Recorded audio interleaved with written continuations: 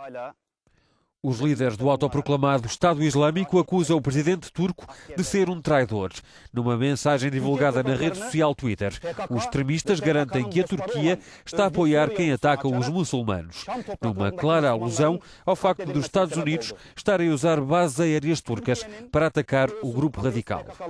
Num vídeo publicado esta segunda-feira, um militante que fala em turco apela ainda a todos os muçulmanos turcos para que se juntem ao Estado Islâmico.